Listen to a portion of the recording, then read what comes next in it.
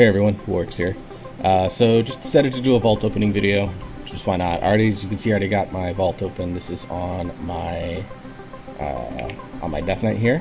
Uh, I already opened up my Feral. Feral is useless. We'll see what happens. Um, so this is what I got in my vault for my Death Knight. Uh, we are now week six of season three vaults with no tier pieces dropping in vault for me. Um, this Axe of the Dreadgrove would be an okay one. I think it's an upgrade over the one that I have by its 23 item level, so um, would be a big upgrade there. And probably move into the main hand because it's slightly higher uh, damage range. This Death God Signet would be a big upgrade on my discarded Artel Al Signet. Uh, drop the verse for a little bit of mastery, which I already have a ton of as it is.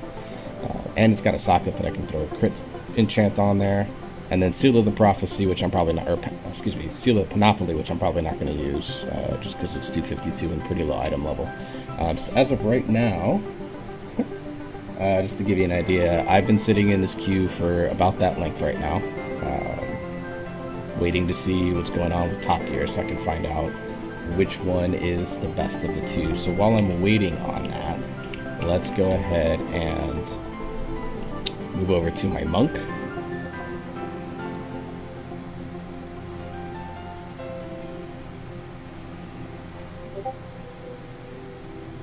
Discord ping. Hello. we'll see what our monk has here. Hopefully we can get some tier here because then I can become potentially a three-piece gamer because I do have an LFR tier helmet sitting in my item here. So let's see.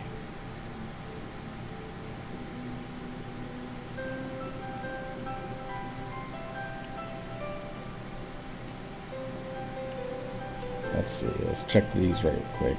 Uh, those are not as good. That's a shitty trinket.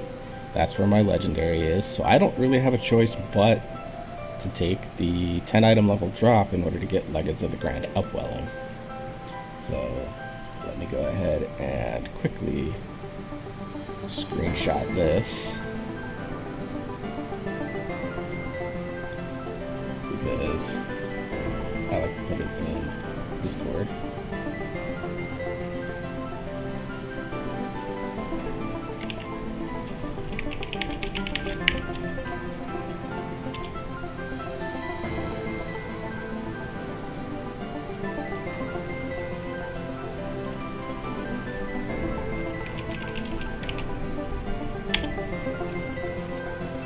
I guess I'm taking my leggings of the Grand Upwelling, using that with my LFR helm and LFR legs in order to get my two-piece.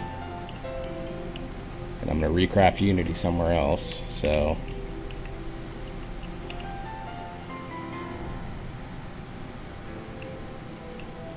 Let's see, what are the affordable... not weapons. Let's see what the affordable leather pieces are, just to give you an idea here see. Uh, vest. Uh, boots are actually not that bad right now, and I might do that because that would be a big upgrade. Let's see. That's what I'm going to do. I'm going to go ahead and buy these boots real quick. So that I can recraft Unity. hang on. And then get my first mastery missives. And I'll work on going and craft, recrafting Unity into a different slot. Oh, I need a burst gem as well. Uh, do I have that there? No, I did not set it as a favorite. That's something you guys should do, by the way. When you get an item like this, you can right click it and click set favorite. And it'll put it on these like lists right as you open the auction house. Jesus, all the long boys. Long boys, please move. Thank you. And you can see it puts it on these lists and things like that. I need to do it with sharpening stones uh, and Balmer's oil. That way, if you buy items really commonly, this is a great way to be able to get them quickly without having to constantly search for them. So uh, I'm going to go ahead and um, I'm going to go ahead and work on getting all this done. Uh, just a quick update on the channel, guys. Uh, I put out a tweet on my Twitter account. You can go there, twitter.com slash warrax underscore wow.